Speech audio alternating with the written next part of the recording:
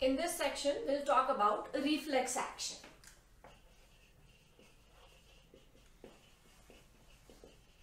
Reflex actions are actually spontaneous, automatic, uncontrolled responses to certain stimuli. Before we write specific things about it, we'll take certain examples. What exactly is a reflex action? If somebody unknowingly, we don't, we are not aware of that, if we get pricked by something, then our hand suddenly with a jerk moves away from that needle or from that uh, thorn or whatever is there. If accidentally we touch a vessel which is extremely hot containing milk or anything in it, as soon as we touch it, we feel it hot, we leave it or drop it. Now here we have not given it any thought. Uh, thought what, what kind of a thought would come if the situation is if you are holding a vessel which is containing milk and is extremely hot. If we are consciously doing something and if our uh, will and uh, voluntary actions are involved, we would think that this contains milk, it is hot, if it drops, then we won't have milk to drink and so on and so forth. But what happens in reflex action is you touch it and you leave it. You don't think about it, what's going to happen after that if the, that milk falls.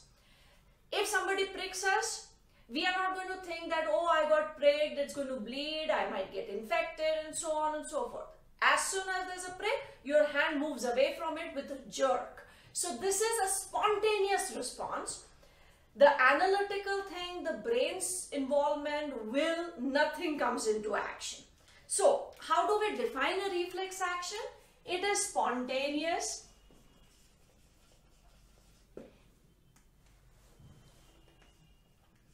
spontaneous, it is automatic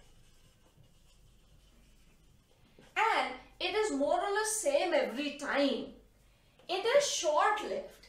If you move your hand away, it's not going to stay there for time for a long time. It will, it's going to come back to its normal position. So,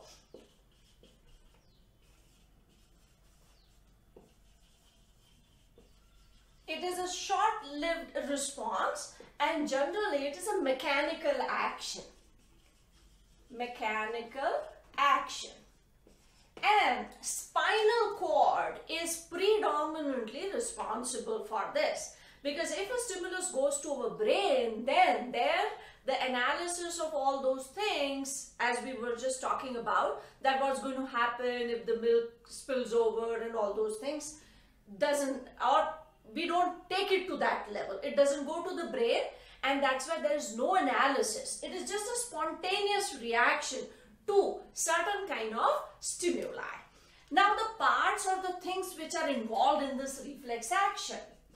There has to be an organ that is the sensory organ which is going to receive that stimulus. So the sense organ part 1 then from sense organ, the message will be taken by sensory nerve.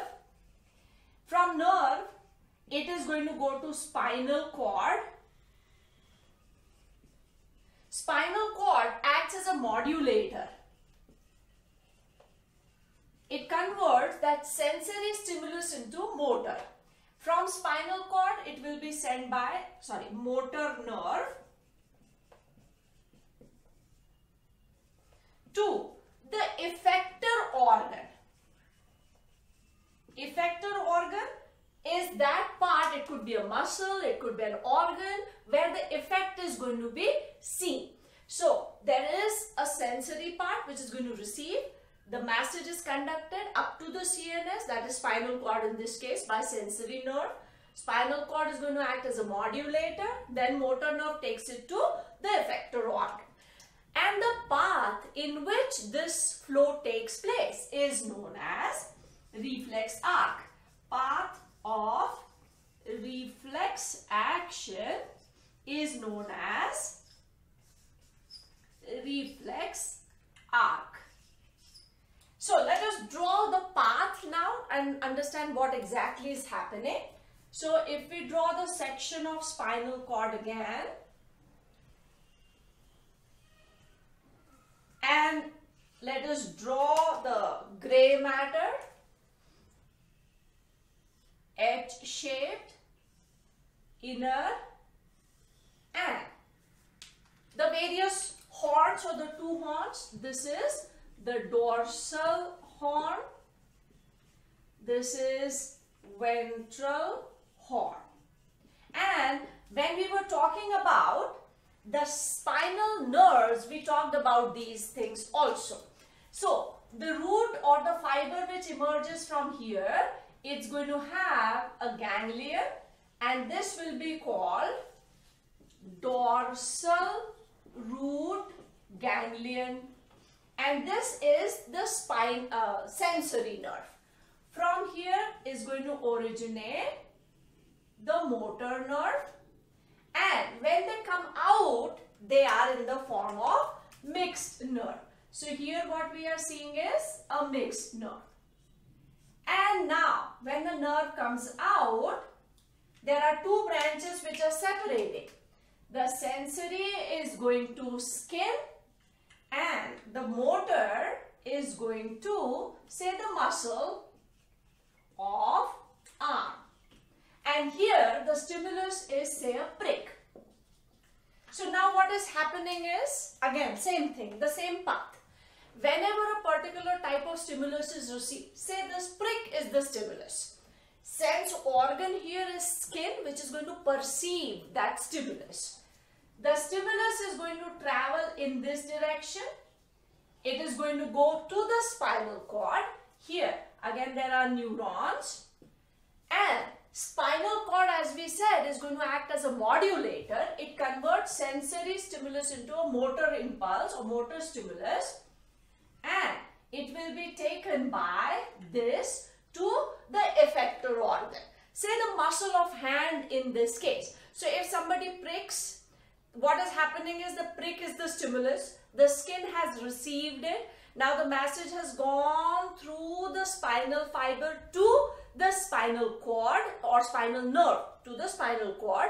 Spinal cord has changed that sensory message to motor and the motor fiber has brought the message to the arm muscle that move away from that stimulus. So, and it is a very quick response. As soon as we get pricked, the response is shown. That means in this short period of time, all this has happened. The sense organ has received the stimulus, sensory nerve has taken it to the spinal cord, spinal cord has modulated it to motor impulse, motor nerve has taken it to the muscle of the arm and the reaction is already done. Now there are two distinct advantages of this reflex action. Number one, it is very fast. It is very fast and because it is very fast, it protects our body. Due to this very fast action, it is a protective mechanism. If we were, suppose, if we are holding that hot vessel and if it is a slow response, then we would hold it, our skin cells would get burned and it would cause damage to our tissue. But if the response is very quick, as soon as you touch it, you leave it. So this is protective.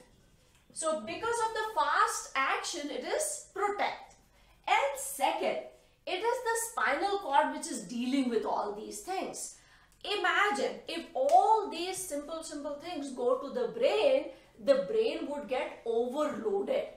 So those responses which are quick, do not require any analysis of that response, then why should it be sent to the brain? Spinal cord is also capable of performing that function. So this prevents overloading of brain. So this is what happens in reflex action and the path in which it travels that is from here it comes here and then goes. This is known as reflex arc. So reflex action, all these things are involved, sensory organ, sensory nerve, spinal cord, motor nerve and the effector organ. The path in which it is traveling is known as reflex arc. Now, let us talk about the types of reflex actions. There are two types of reflexes uh, basically this classification is based on when do we get that kind of reflex. So two types. First is known as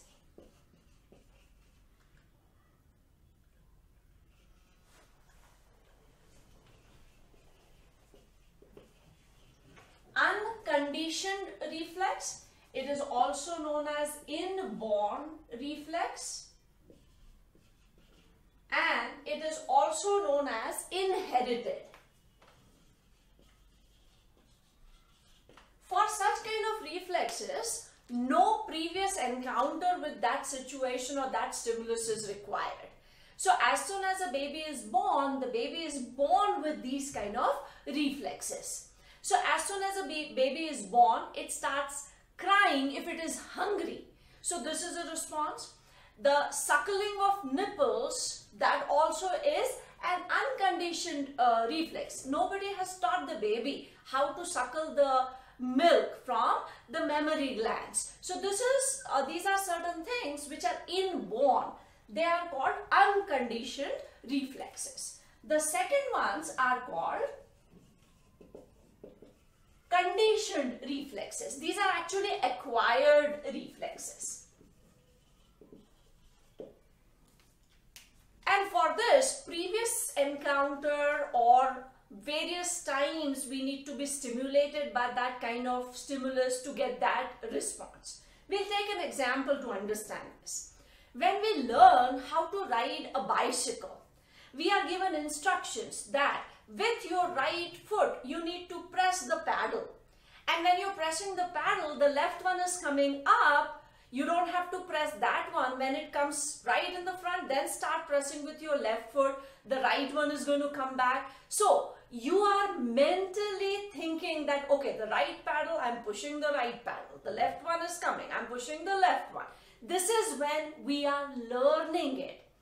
But once we have learned how to ride a bicycle, when we are on the bicycle, we never think that this is the right paddle and I'm pushing it. Same thing happens when we are swimming. When we swim, we are told that, you know, you cut the water by moving your arm like this, rotate the arm, bring it back. But those who are swimmers, those who have learned it, it automatically happens without any thought process going into it. But before we attain such kind of reflexes, we have learned it. We got that stimulus so many times that now it has become a part of us. Now while riding a bicycle, we don't think about the paddles at all. While swimming, we don't think that if my right hand is going like this, where is the left hand? It just automatically happens.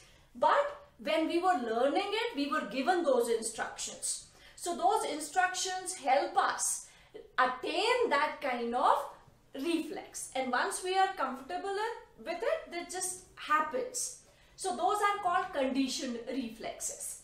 There is a very famous experiment which was done by Pavlov.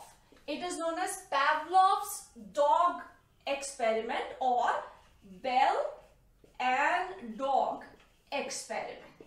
Now what Pavlov did was uh, it is a normal thing that whenever we smell food or we see food, we start salivating. So what Pavlov did, he offered food to the dog and just before offering the food, he used to ring a bell. So bell became like a stimulus for the dog. He kept doing it for many days. And one day he rang the bell but did not give the food. And what he observed was that the dog had already started salivating and the dog had already produced gastric juice because bell was a stimulus that now food is coming. So this was sort of a conditioned thing which was given to the dog and then it just became a part of it that whenever there is a bell, it is going to be followed by food. So in anticipation, the reflexes released the gastric juice before the food could even reach into the stomach. So this is Pavlov's experiment. There is one more way in which we classify these reflexes that is basically physiological and anatomical. most of the reflexes are protective reflexes. So we call we classify it as protective reflexes. Second one is anti-gravity reflexes. Anti-gravity is basically helps our body to maintain itself with the gravitational force. And the third one is known as righting reflex. It is actually position, how head and body are uh, adjusting to each other, how limbs adjust with the body part. So this is just to keep our body in a correct position. So these are also uh, one way of classifying reflexes. One more way in which we can classify it is what is controlling this reflex. Most of the reflexes are controlled by spinal cord. So they can be termed as spinal reflexes. There are very few which are controlled by the brain also. Then they are known as cerebral reflexes. But the most important and the most common ones are protective and they are controlled by spinal cord. They can be unconditioned, that is we are born with those or we acquire them over a period of time when we go on getting exposures to that kind of stimulus.